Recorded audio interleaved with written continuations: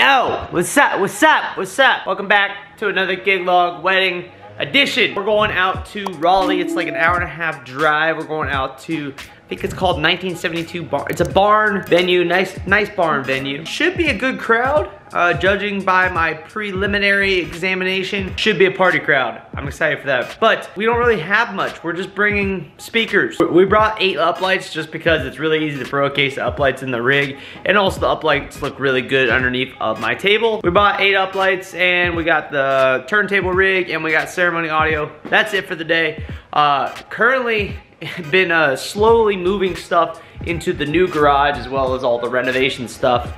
Um, yeah, that's been fun. We're actually moving all of my girlfriend's stuff in officially tomorrow. So I got a hectic weekend just to say the least. But me and Drake are gonna go out to the barn and get this started. Get on the road. Exposure!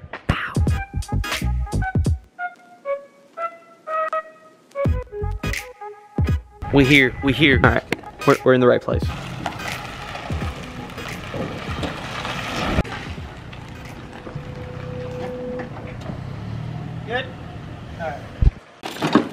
Table, got the GoPro. Speaking of the GoPro, we're gonna unload, which as you can tell is is not much.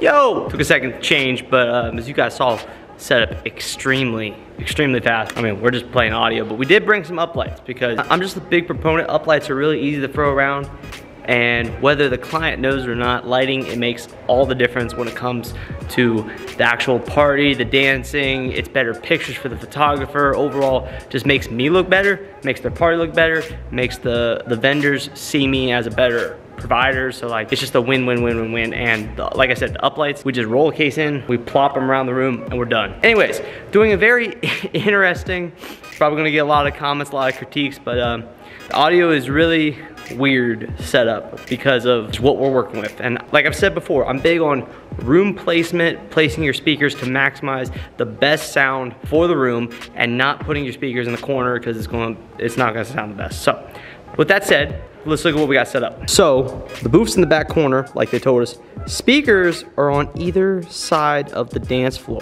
which is kind of unique. We're gonna be hitting the sound from either side. Right now the speakers are turned out towards uh, where everyone's to be sitting for dinner and doing toast and all that stuff with the mics. But later on, we're gonna turn these facing each other for open dancing. Now this is a very small room and these speakers have a ton of power when it comes to what they can do. So we're gonna have no problem with how loud we can get it for this little dance floor section right here. And it sounds great. Like you can take my word for it. Sounds awesome. Bass sounds great across the board. Again, small room, it works out, but not the most ideal. So speakers of choice, we're also on an incline. I'm not sure if you can see this. We're on an incline right here. This is uh, this is sloped all the way down to the front. It's not flat at all. But um, speakers of choice, JBL PRX 715X left, PRX 712. A lot of people have asked me these are not the 800 series. I do not have an app. I cannot control the, the processing inside of them. I run all these off of the drive rack in the back. So one of those on either side. We got the JBL poles kicking them up. Of course, we have the, the booth of of the whole entire summer, the turntable booth, I get requests all the time to just bring this out. Uh, like the couples, they see this booth and they're just like, we want this. So that's why I don't really use any other booth nowadays and setup is extremely fast. So as long as we can get a trailer in, good to go. In the booth, Rane 12, Pioneer S9, HP 15T Spectra, like maxed out computer, love that thing. Uh, we have an iPad there we're gonna use for cocktail. Got a nice fan in the back, little Stanley fan back there. You can see the uplights. We have eight of the both S4s chilling around the room, running on wireless DMX. ADJ event facade up front, come around the back, and we have our gig table, the audio rack with the side tables. Go check out the video on this, it's dope. I've been meaning to build this mic into the rack. I have not got around to it. This mic will eventually live inside the rack. I have not got around to it all. All the audio feeds out of the Yamaha MG12 up here, so we have more capabilities than we could ever need. Furman power strip down there, Chauvet Show Express, which comes up and links to that laptop. We have the drive rack PA2 down here, which controls all the audio processing. Outlets on the front, ports on the back for all the XLRs. This thing's dope. Go check out the video if you don't know. Ceremony computer right here. This is my new HP Spectra 14T, so 14 inch screen. Love this thing, it's beautiful. Then I got my 13 inch over here running Show Express. Uh, cooler full of drinks, all the bags, good to go. GoPro for later the coat. And yeah, that's the that's the reception setup. All right, moving on. Let's go to the ceremony area. Well, the ceremony area is technically charging. I'll show you guys the ceremony cocktail and how all this works. I need to get some tanning going. I'm I'm I'm white. So one thing I, I love so far about this venue, the 1932 uh, barn, everything's labeled really well. Like this apparently is the smoking section, restrooms labeled great. Back here is the cocktail area. This is really really awesome. They got like little cabanas for everyone to hang out at during cocktail. We have the drink station here, the bar tucked in over here. This is just an awesome, cool little setup. Looks like we got like a selfie area over here. Like people can get in here and take a selfie. That's so cool. Another little hangout section. So what we're gonna do is, you guys know the Maui 5 Go we got. We'll bring it up here, hook the iPod, iPad up to it. We'll play cocktail music via Bluetooth from the iPad. Guests park up there. They come down through here, down to the ceremony. Oh, actually, I think they walk down through this area. So they'll walk down around here maybe. I don't know. We'll see. Come down here to the ceremony. They'll probably have some guest stuff right here. Again, we're a little early right now. Turn off all cell phones. Absolutely. Down here, this is where the ceremony is going to take place. We got our LD Maui 5 Go. I still stand beside this. This is by far the best price, point, value, battery powered, column array, portable, anything speaker for cocktail ceremonies. I love this thing. This thing is awesome. Like I, I can't say it enough. Price tag I think is right around $900, something like that. Uh, we have two of them. I need to buy more because these things are just awesome. Like you can use it for ceremony, cocktail. The battery lasts forever on the thing. It's like eight hours of battery or something like that. I don't know. S even if it's six, it's ridiculous for what you need. But uh, we run the speaker there back to our scrimmed out table where we're gonna put our battery ceremony rig. We're currently charging it to make sure we got it fully charged. Charged it last night. I had a little, I've been a little nervous lately because the, the power wattage on it, it says that it's, uh, when I turn on everything, it goes down to like 11.8 volts, which I know it's got a full charge, questioning it though. So I'm gonna need to run some testing when I get like time to verify it works. But anyways, got the Yamaha MG06 down here, running Audio Technica 3000 4th gens right here. Again, they're hooked into our ceremony rack, which is up there charging. That's the ceremony setup. It is currently 3, 333, 333, my watch just for show. And while they're at cocktail, they also have games back here. They got horseshoes here, they have cornhole here. That should definitely be further apart though. That's way too close for cornhole. And then they got the ladder golf as well. Cool stuff. We, we ready? Where we going? We ready? Meeting this one on my right. Uh, I think a lot of you know, and I see it's well represented here, that Woo! Got hit by like a wall just now. This is why you bring caffeine. We chilling. We went over to the groom suite for a little while because it has a AC. Cocktails going on. I really enjoy when cocktails in a different area than the reception. It's a lot more chill a lot more laid back. You don't feel as rushed because they're not like over top of you while you're trying to make sure the reception's ready to go and all that. It gives you more flexibility, especially like if you did show up late, you have time to set up the reception. So that's always a good thing. It's like 5.43 and they're not supposed to come over here until six. We're chilling. Drake's on the floor. This is probably one of the most chill laid back things I think we've had in a while. For the lack of better words, we're bored right now. Cocktail looks fun. They're drinking they're drinking a lot, which is a good sign. You want Ricky's like five tips to a good party? Well, first off, the bridegroom tell you it's gonna be like a good party. Second, you see a lot of drinking. And third, everyone's dressed well, everyone's dressed, everyone's having a good time at cocktail, everyone looks like they're about to have fun. And if you can get them dancing, of course the exposure screws up when I walk inside. If you can get them dancing during dinner, big bonus. If you can get them dancing during dinner, you're set for a heck of a party. But um, yeah, we're waiting because uh, whenever we move everyone over here, we'll do grand introduction, we'll knock out the dances, and then um, dinner time. And then we do toast, cake cutting. We're here until about 9.45 though. I don't anticipate dancing to start until like 7-ish, 7, 7.30 maybe. We'll have like two hours of parties. Oh yeah, a lot of you guys overseas don't really have asked me like, cause it's different over there.